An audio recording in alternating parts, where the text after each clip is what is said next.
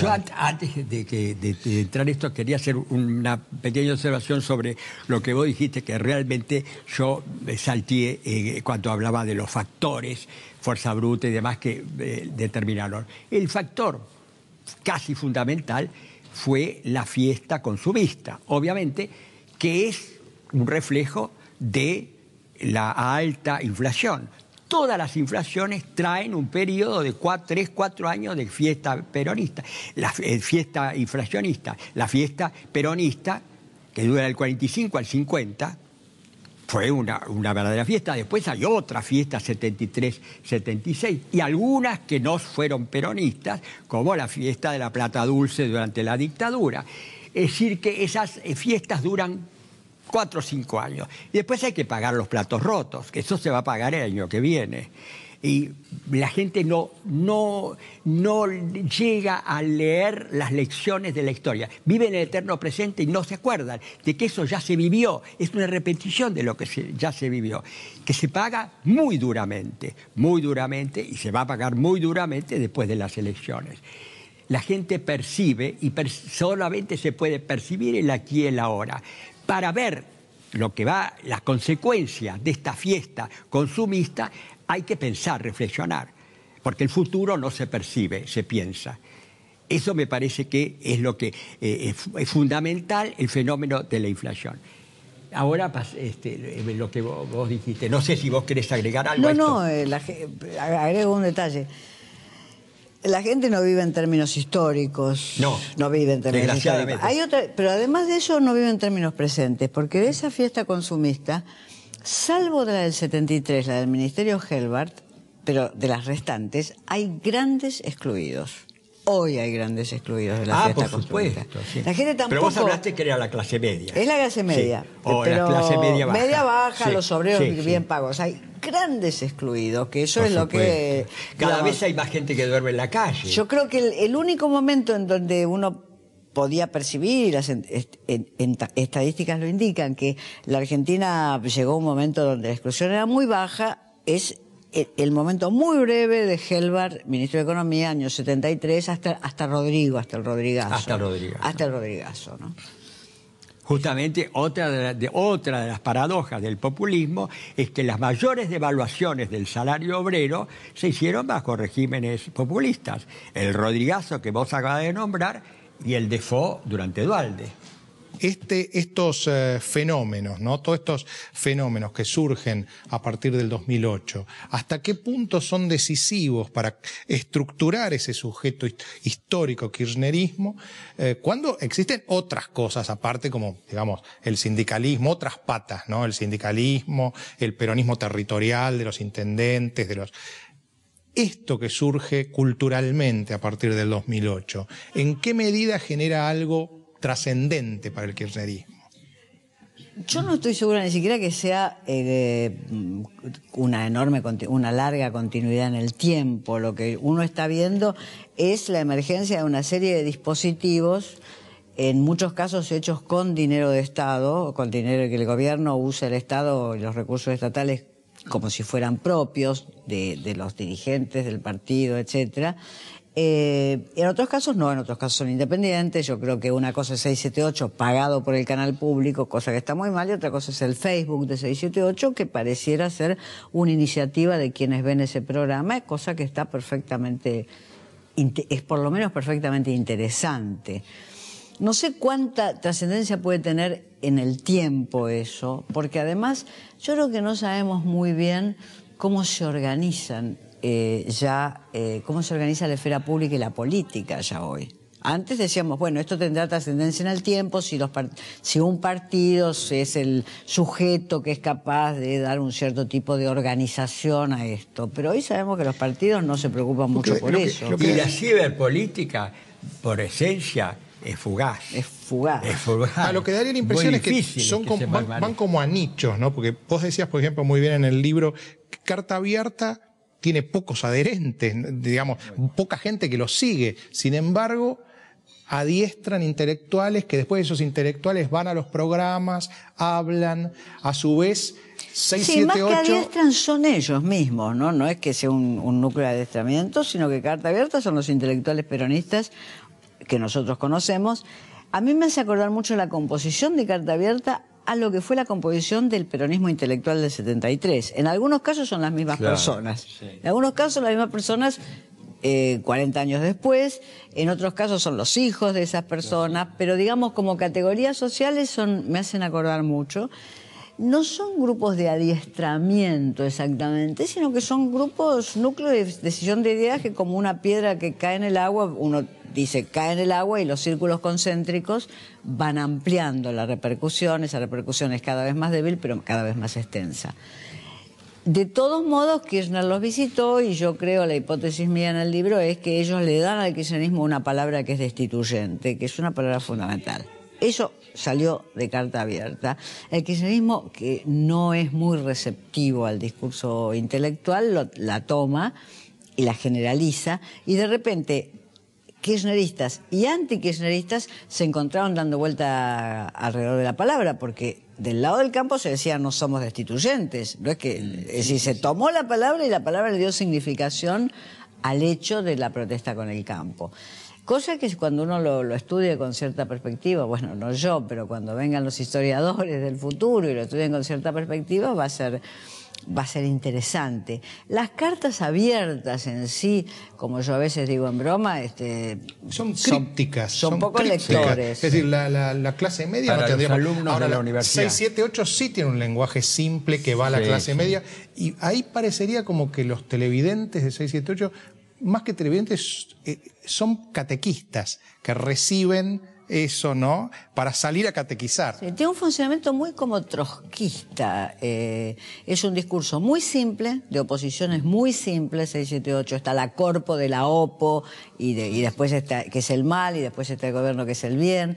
Es decir, eh, tiene oposiciones muy simples que permiten que la gente salga con esas oposiciones muy simples. Sí, eh, sí, sí. y no en vano yo conozco muchos extrosquistas, devenidos kirchneristas, por la mediación de, de 678.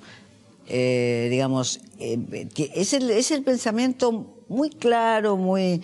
Que, que la política tiene que tenerlo, ojo, no se puede hacer política con la fenomenología del Son estereotipos, ¿no? Y hay que tener ciertas. Eh, claro, la complejidad, los matices impediría a alguien que no es un intelectual salir a catequizar. El problema es que esto se haga desde el canal público para mí. Si 678 se hiciera en un canal de cable o en cualquier otro canal, que hagan lo que se les dé la gana. O si fuera un empresario privado que lo paga. Efectivamente, efectivamente.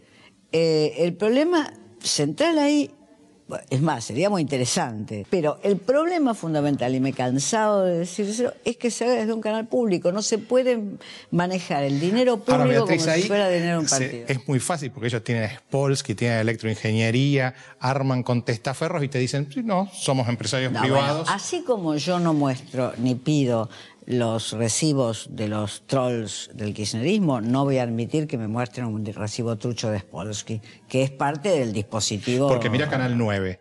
Digamos, Tonietti es lo mismo que 678. Pero yo no, no, no. No, hasta que no se haga en serio eso, que va a tener que ser una investigación muy en serio, yo no, no voy a repetir lo que se dice por todas partes, que es cuánto cobra fulano y cuánto cobra mengano, ni yo lo voy a repetir, ni lo escribí en mi libro, pero tampoco voy a, permitir que me corran con el cuatro de bastos. Que nos tomen por sonsos. Con el cuatro de bastos no me van a cobrar, correr.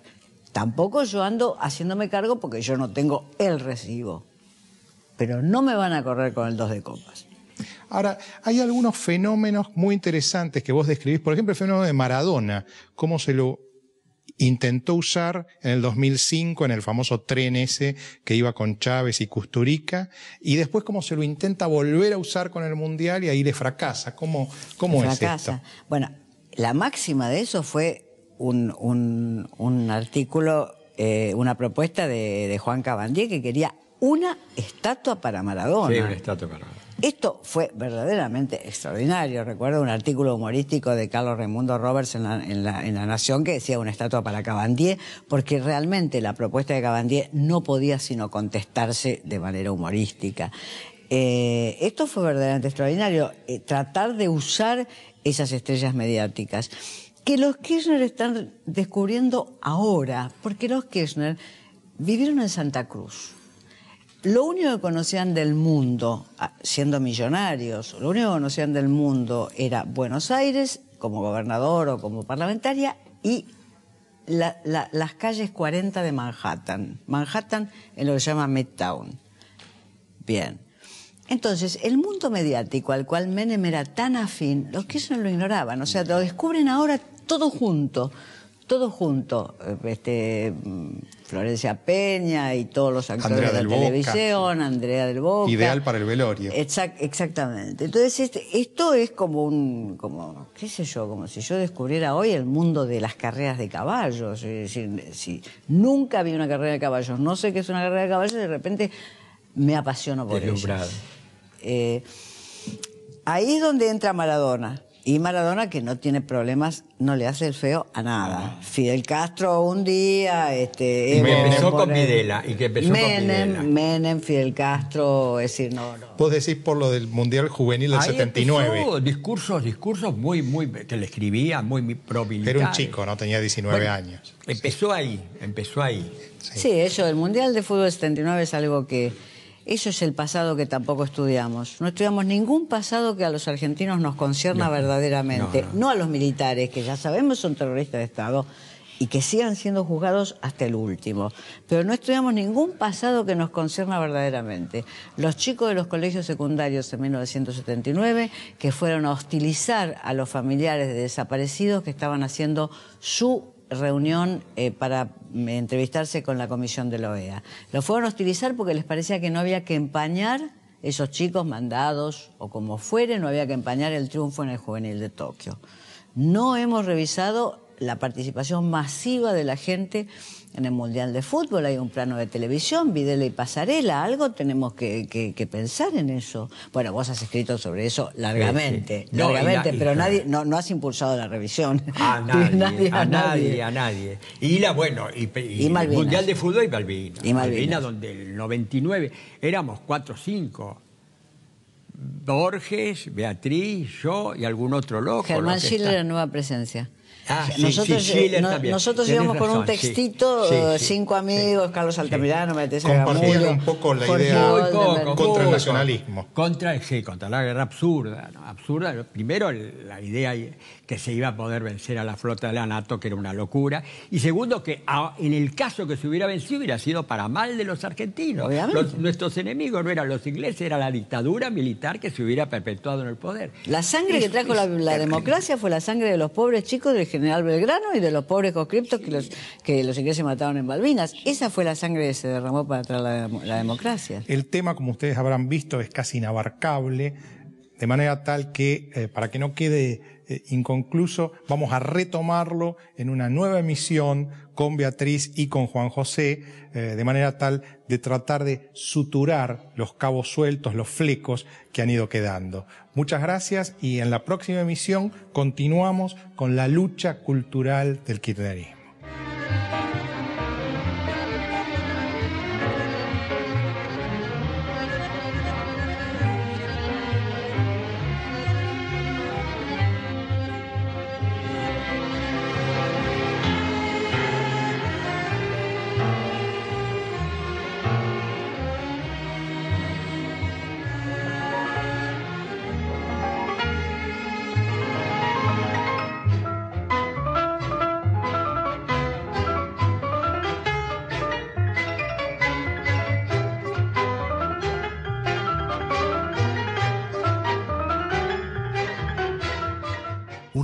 Joven en un mundo que avanza. Medanito, tenemos energía, somos energía.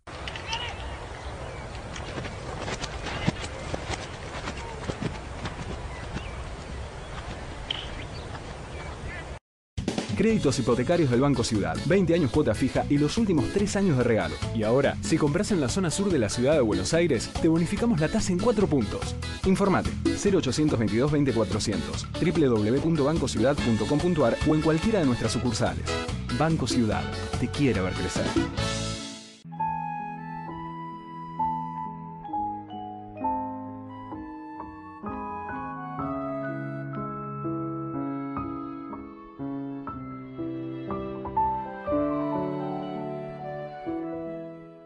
Uses La excelencia, un compromiso. www.uces.edu.ar